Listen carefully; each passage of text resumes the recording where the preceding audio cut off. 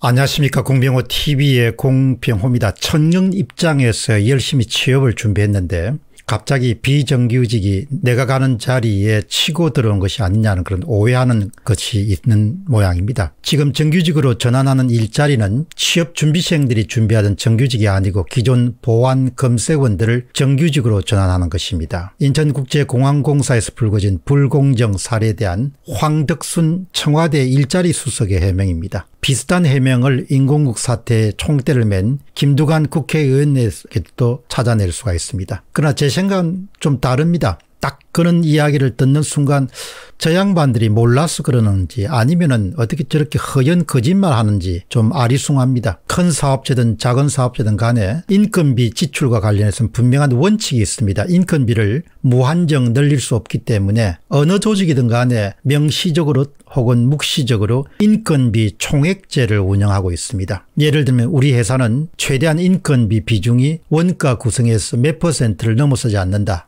이런 가이드라인이 대부분 다써 있죠. 최저임금을 올린다고 야단법석을 떠는 정치인이나 관료들을 지켜볼 때도 저분들이 인건비 총액제라는 것을 알고 있는가 알고서 저렇게 하는 것인가 그런 생각을 갖게 됩니다. 사업체 수입이 고정돼 있다면 당연히 임금이 오르면 사람을 줄이거나 근무 시간을 줄이거나 기타 자동화를 하거나 이런 조치들을 취하게 되죠. 그래서 결국은 인건비 총액이 일정 비중을 넘지 않도록 그렇게 조치를 취하게 됩니다. 너무나 당연한 것을 두고서 눈앞에 곤란한 상황을 피하기 위해서 거짓말을 일삼는 나라 일을 하는 사람들을 보면 정말 딱하다는 생각보다는 좀 화가 납니다. 다음 질문은 인천국제공항공사 사태의 거짓말입니다. 미래통합당의 추경호 의원실이 6월 30일 날 공공기관 경영정보 시스템인 알리오를 통해서 주요 10개 공공기관 인건비 현황을 조사한 결과를 발표했습니다. 자료는 2016년부터 2020년 탈원전 직격탄을 정확하게 맞은 한국 수력 원자력을 제외하고 9개 기관에서 인건비 부담이 아주 큰 폭으로 늘었습니다. 몇십 퍼센트 늘었습니다. 예를 들면 LH공사 같은 경우에는 3천여 명의 정규직 전환 등으로 인해 가지고 2016년도 총 인건비가 4,990억 원에서 올해 7,668억 원으로 53.7% 늘었습니다. 이렇게 인건비가 늘게 되면 당연히 총액 인건비 개념을 도입해 가 지고 신규 채용을 줄일 수밖에 없는 것이죠. 다음은 도로공사입니다. 4년간 정규직 전환이 7천 명 가까이 이루어졌습니다. 도로공사의 인건비 부담은 3,606억 원에서 5,136억 원으로 42.4% 급증했습니다. 결국은 톨게이트 요금 수납원인 6,500명 가운데 1,400명은 봉사가 고경하고 나머지 5,100명은 본인 동의를 받아서 자회사에 정규직으로 배치를 했죠. 뭐 이렇게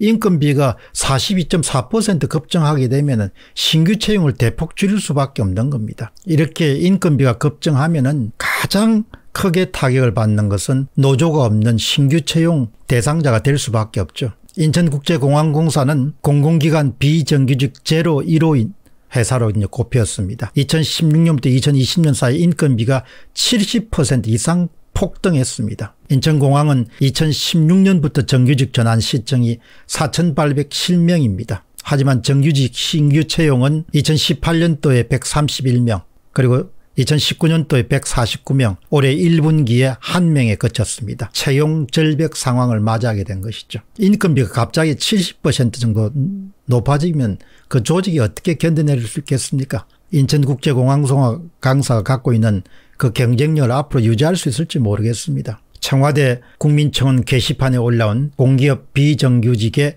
정규화 그만해 주십시오라는 것은 이틀 만에 20만 명의 동의를 얻었습니다. 청원글을 작성한 사람은 이곳을 들어가려고 스펙을 쌓고 공부하는 취업 준비생들은 물론 현직자들은 무슨 죄가 있느냐 노력하는 이들의 자리를 뺏게 해주는 것이 평등인가 이렇게 이야기를 합니다.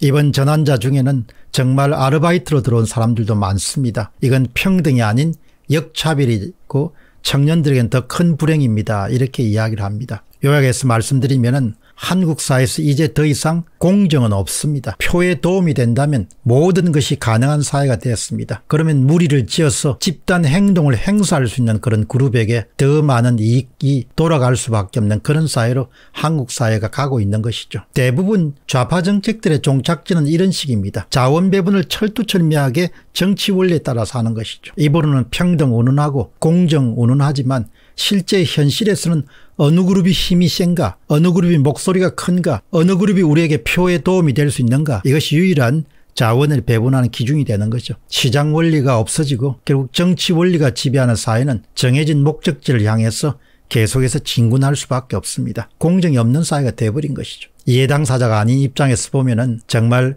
이번 사태를 공정의 부재로 문제로 받아들이는 그런 사람들이 특히 집권 세력의 핵심 인사들이 드문 것이 참으로 개탄할 수 있는 그런 일입니다. 공병호 TV의 공병호였습니다.